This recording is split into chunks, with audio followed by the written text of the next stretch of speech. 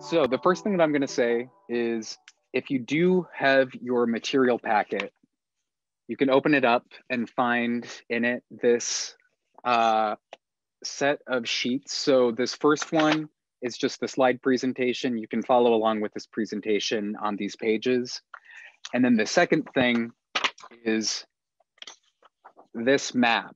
So if you do have the printed materials, you'll see there are some spots here. If we have left anybody off of this, please feel free to mark those down on the side here. Um, if you do not have the printed materials, please still mark down any agencies that um, that you see that we've missed or that we've left off of this. Uh, just you know, mark those down, and then we will uh, we will review those once the presentation is over. So really quick, the purpose of this map is really to address the concern that we've been hearing for the past few years of Neighbors Changing Flint that you know residents really want to know more about what resources are available to them. Um, and you know there are a lot of different organizations working working in the city, and it's hard to sometimes tell what can I get out of this organization, what can I get out of that organization. Um, so this resource is really intended to clearly show what those different agencies, organizations, and individuals are whose work is really focused um, on addressing the needs of Flint residents. So this map is not a guide to social service organizations, you know, educational, um, food access, health organizations. There are obviously a ton of really important organizations working in Flint that do provide social services. Um, However, this map is really focusing on physical neighborhood improvements. So these are organizations that help you do cleanups or uh, you know developing uh, new residential homes and things like that. Um, the other thing that I want to point out here is that again, this map is not complete. We know that we have left out some people and part of why we're doing this presentation tonight is so that you can let us know who else we need to include here. Um, so please, like I said, mark those down as we're as we're going through the presentation, uh, and we can we can look at those later on. All right, so the first thing here, how to read this map. So basically, the agencies, organizations, and individuals are represented here in several different categories. Um, so the categories are not necessarily mutually exclusive, meaning that some organizations have you know, as an example, some organizations provide infrastructural support as well as technical assistance. And so that's why you'll see some overlap there, excuse me, um, with, uh, with both of those different types of resources. Um, and right now, I'm going to pass it over to Ashley to start us out here, um, talking about what the what really the center of this is. Yeah, absolutely. So like Michael said, this map is really intended to talk about the, the organizations that provide support services to neighborhood groups and do neighborhood related work. So at the center of this map is the residents of Flint.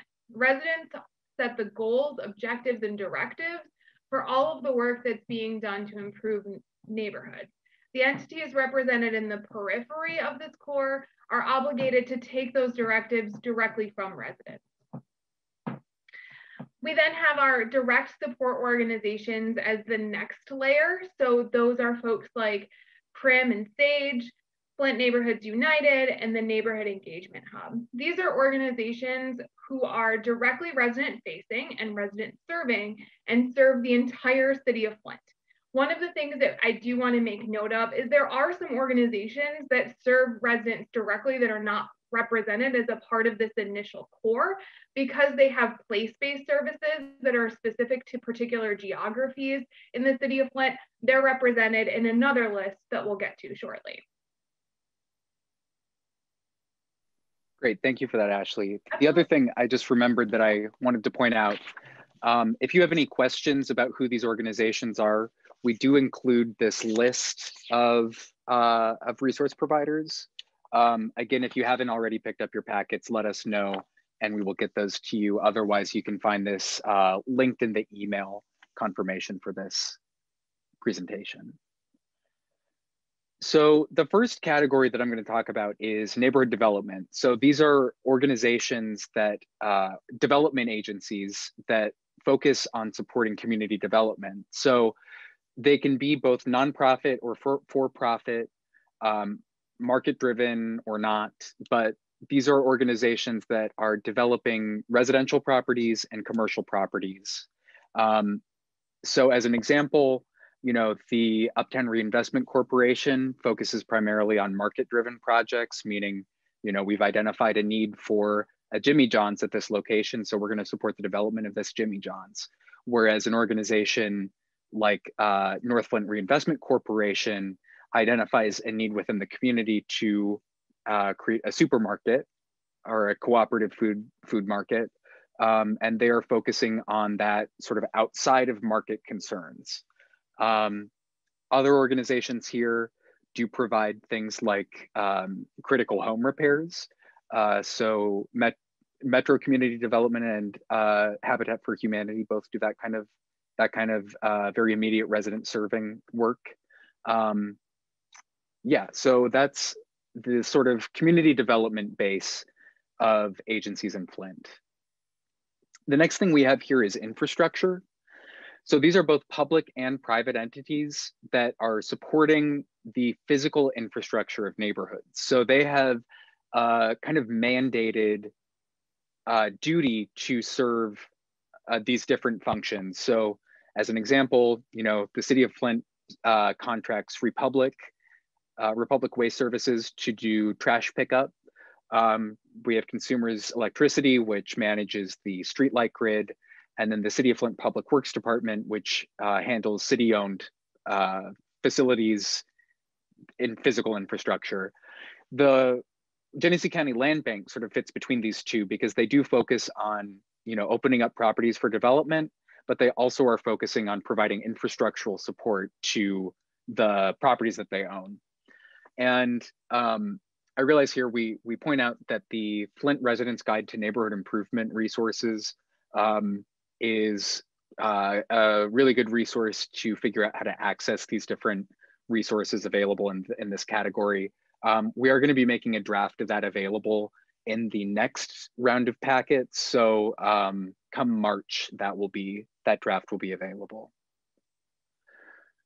All right, then our next category here is technical assistance. So this can range from project management to support to skills training and educational programs. Um, as an example, you know, Edible Flint provides support for uh, community members who are developing uh, urban agriculture projects in their neighborhood. So that's a really direct form of technical assistance. The overlap between technical assistance and infrastructure, I think, is kind of interesting because you have like the Genesee Conservation District, which is, um, you know, they're mandated to uh, administer the city's network of, of street trees um, but they also provide different resources for residents on you know how to tend to trees in private property um, same thing with uh, keep genesee county beautiful. You know they are a county organization that is charged with um, supporting parks in the in the community but they also do a lot of different programs like the um, uh, like the park adopter program. We also have the i have to shout myself out the city of flint plan department of planning and development. Um, so through or, uh, initiatives like the Neighborhood Planning Initiative, uh, the Choice Neighborhoods Initiative, we are supporting the you know public infrastructure as well as providing support to neighborhood groups to make these types of improvements on their own and and with assistance from uh, from our office.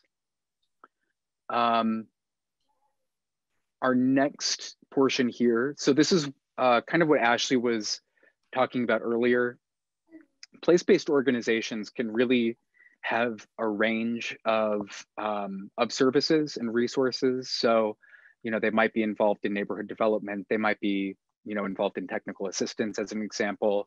Um, you know, I heard Norma, Norma Sane uh, from Court Street Village is joining us. Uh, Court Street Village Nonprofit is an agency that provides direct assistance to the um, Central Park and Fairfield Village neighborhoods. So they offer technical assistance in terms of project management, um, fundraising, grant applications, things like that, but they are geographically focused. Um, same thing with these other organizations like Illuminating Community Change, the Latinx Center, Urban Renaissance Center, and Asbury CDC, as well as the North Flint Neighborhood Action Council, which um, again is really, you know, supporting, directly supporting neighborhood groups in uh, project administration and fundraising. Then our next portion here are the funders. So the funding agencies, these are philanthropic agencies that are providing direct support to neighborhoods through grant making and other training and capacity building assistance. Um, so as an example, the, the local funders like Community Foundation and Ruth Mott have helped to um, support this workshop series. Um, they have also, you know, CS Mott has their focus on Flint initiative. Um, the UM Flint outreach uh, has you know, funded a lot of different projects from, uh, you know, they have the design studio working on, on murals, which we'll talk about in just a minute, uh, as well as things like the Porch Project, which came out of uh, UM Flint um, research project. Or it, it wasn't, it didn't come out of the research project, but the research project supported the Porch Project. Our next one here is communications. So these are all news outlets whether they be blogs or print publications um, that are really focused on local events and stories. Um, so these are all really good resources for getting the word out about your different projects and initiatives. Um, I know our community, our voice in particular has a real, you know, focus on getting the word out about community projects.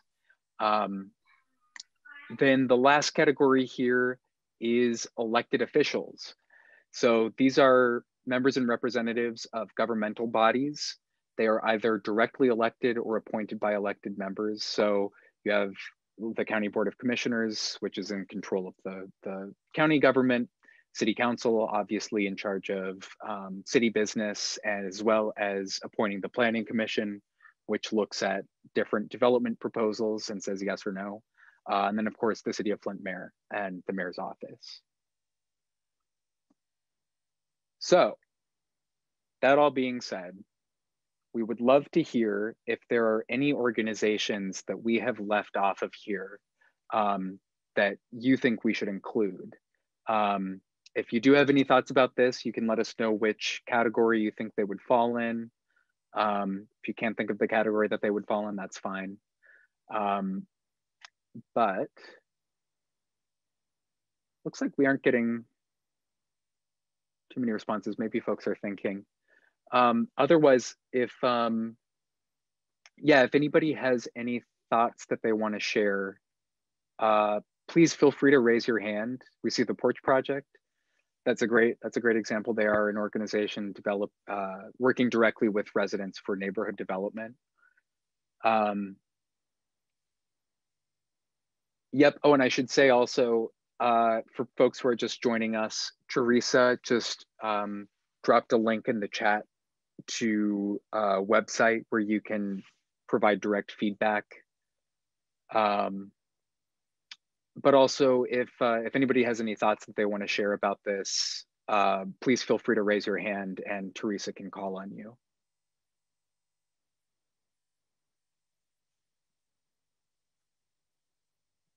Flint 360. Awesome. Community TV and online streaming. That's exciting. Yeah. You'll have to let us know when that comes out. We can send it around to everybody. Who's behind that?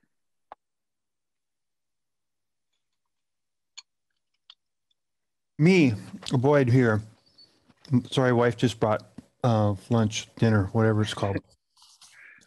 Me and Norma have a hookup, so uh, yeah, I can show you the, stu- the studio later. We're going to be interviewing Harold Ford tomorrow um, here in the studio.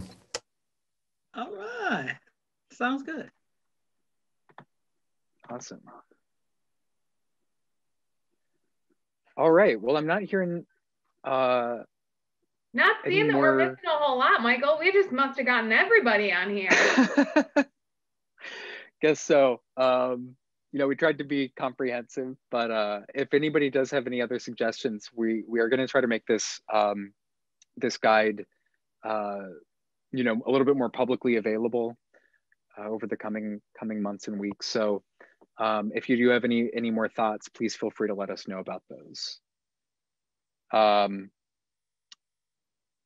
otherwise, I think we can go ahead. Oh, the MADE Institute. That's a great that's a great suggestion. Um, yeah, they work a lot with. I think I'm not sure if they're specifically place based. I know that they work primarily on the north side. Um, but yeah, that's a that's a really good sort of technical assistance as well as neighborhood development organization. Um, similar to, I would say, the Urban Renaissance Center. So that's a really good example for us to include. All right, so let's move on to the King Avenue Plus MLK Jr. mural project.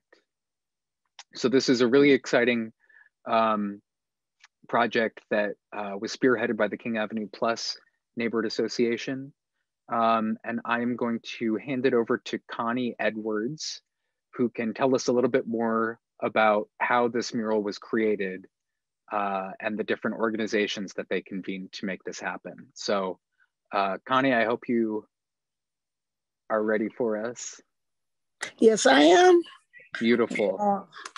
All right, take it away. Okay, I am so excited since this had taken place and I have shared so much. So if I go off on a binge going down a different road, just stop me and say, pull me back in because I have really tried to sell this and share this with everybody I know. Well, the mural, uh, a great project in the north side of Flint. And just in case if you don't know where that's at, that's between Pasadena and McClellan Street, located on Martin Luther King Avenue.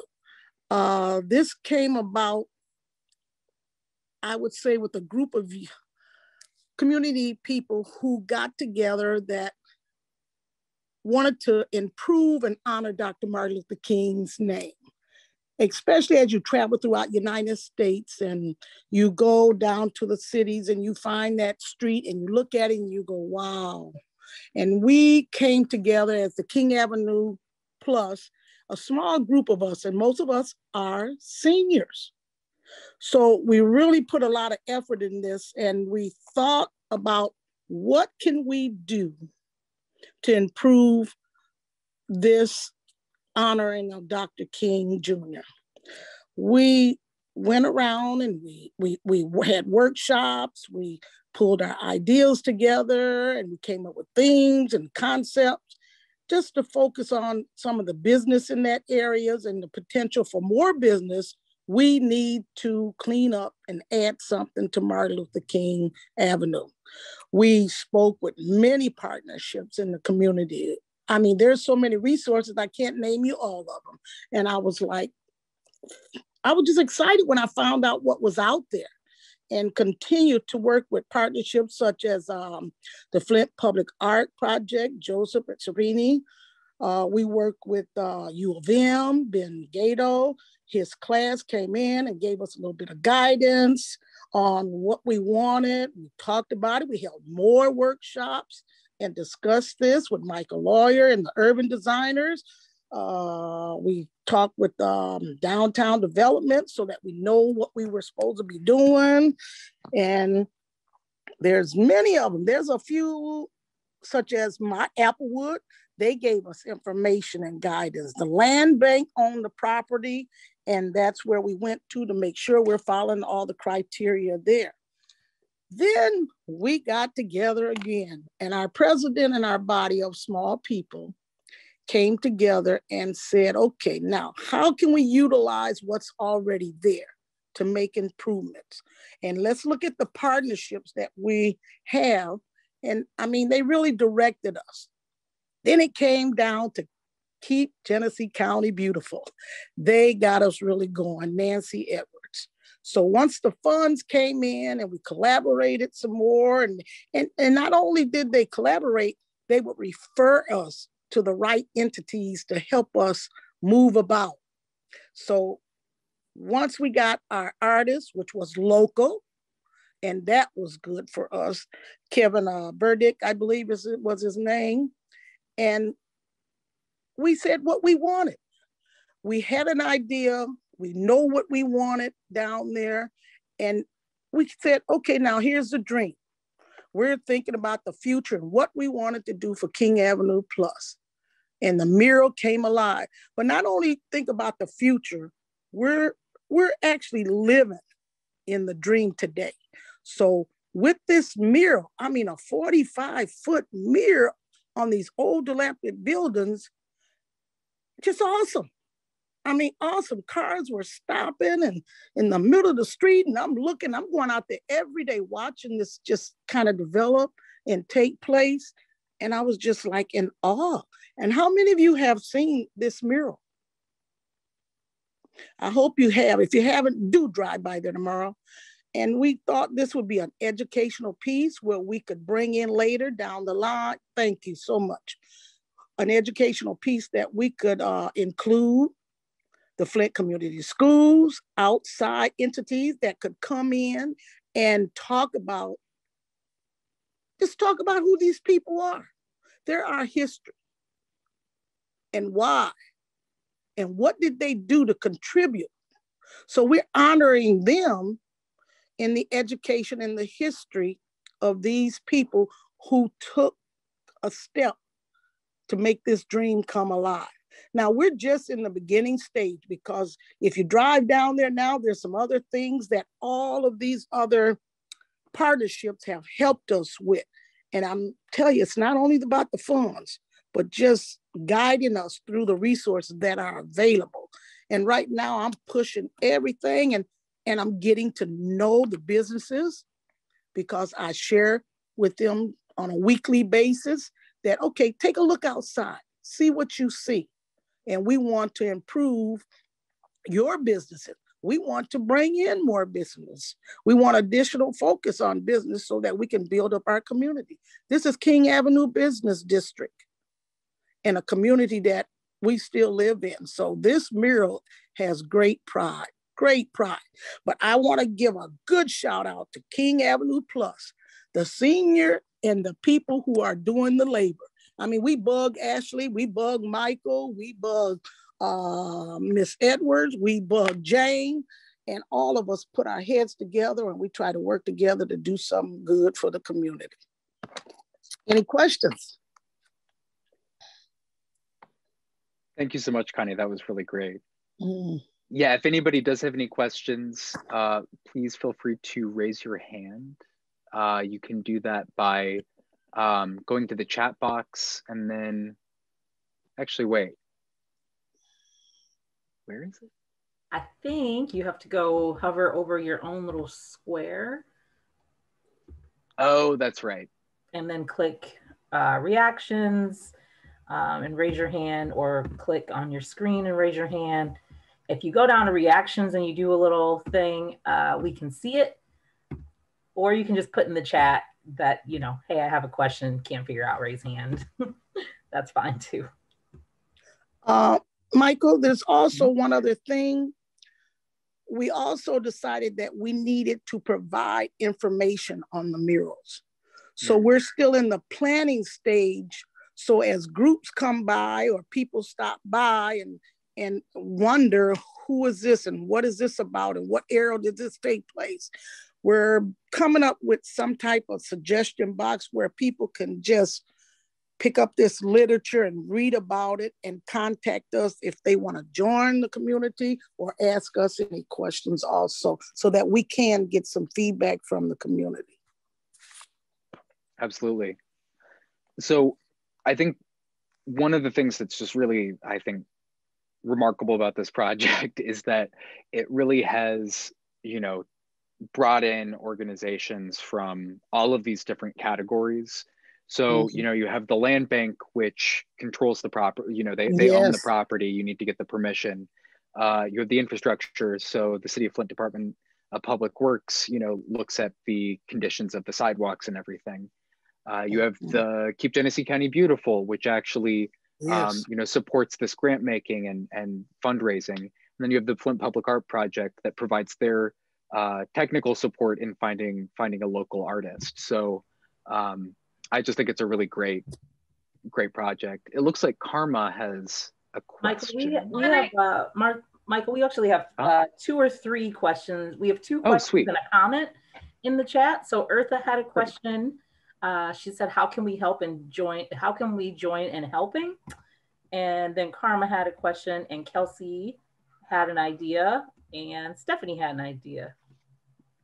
Cool. So let's um Connie, if you wanna if you wanna respond to Eartha, how can we join in helping? Okay, probably in the text box, uh, chat box, uh, give me her number or her email and I could find out and give her some information on how to contact us when we meet. Cool. I Um, will be calling you. oh, so we have a suggestion here, uh, QR code. That's not a bad idea. Um, so that you could just scan it with your phone uh, and have uh, feedback Google form or something like that. That's a good idea. Great idea. Um, Mhm. then Karma, looks like uh, you had a question. Feel free to go ahead. Yeah, my question is, if we wanted a mural in our neighborhood, who do we contact? Uh, well, you got to start planning and come up with a vision. And the list of many of these e, um, resources and partnerships I mentioned, there's numerous ones, and I can mention those in the chat box. Okay, thank you. Yeah. So again, if you look at the, Joe the Shapini, thank you. Yep, Joe Yeah. Shapani with uh, Pl- Mhm. Public Art Project. We include uh, contact information in this guide that, uh, again, is in the informational packet as well as linked on your confirmation emails. Um, so yeah, I, you can go to the Public Art Project. Uh, the Downtown Development Authority, like Connie mentioned, has a placemaking specialist. Uh, her name is Katie Yellow. Um, so yeah, there's there's a lot of opportunity out there. Thank you. So, Um, Uh, Shay, Stephanie had um, you had a question that you sent to me. Um, how can you get your ideas for the community as Connie has done for hers? So I think, um, are you asking how do you come up with the ideas? Yeah, basically, I'm just stating how can you get your own ideas out there um, and get supported for your community as well. that's Well, a great we- that's a great point. Oh, Yeah. sorry, kind of go ahead. Well, we held workshops and invited the community. We also did footwork, knocking on doors, sending out flyers, emails, just to see where the community stood. And then we met as a body, and our theme basically centers around, you know, Dr. Martin Luther King Jr. So we wanted something that related to that, that would send our message out, that would pop. But those are some of the small avenues that you start with finding out your community because you don't want to go out there doing just anything. You know, you'll get a whiplash, but you want to make sure that it fits with your community. And then all the other uh, resources and partnerships that were mentioned, they will help guide you quite a bit. Thank you, Mr. Yeah, I I would just add to that, Shay, that um, you know, I think that organizations like the Neighborhood Engagement Hub, um, Mhm. the Neighborhood Planning Initiative, which uh, which I work on, uh, are really good ways to help you kind of structure what that outreach looks like. Um, so, as an example, through the Neighborhood Planning Initiative, we you know send out postcards to to everyone in the neighborhood. Um, you know, letting them know that there's this initiative going on and to get in touch if they're interested in uh, getting involved in the neighborhood improvements. Um, and then um, Ashley is just saying in the in the chat box here, uh, we are going to be doing an action planning workshop uh, right up next. So that will help to give you a little bit of a better idea of how to, you know, how to how to make an idea into a plan. Um, and that's you know something that the engagement hub does for uh, neighborhood groups all across the all across the city. Thank you. Um, Teresa, do we have any more questions? Nope, I don't think so. Uh, I believe Trifina has been answering some of them in the chat. So if Oh, anybody sweet. has any other questions, please feel free to put it in the chat or if you're on the phone, um, you can unmute and uh, just say, hey, I'm on the phone. I can't chat. Would like to ask a question. And if you're on the phone and you're trying to unmute because we've muted you, you can press star six to unmute yourself. So if we've unmuted you and you are on dialing in only, you can press star six. Um, and then you can switch to just using your your phone's mute your phone's audio system to mute and unmute if you like. All right. So we're going to move on to our post meeting questions. So, like I mentioned before, um, this is just to give us some feedback uh, whether this was helpful.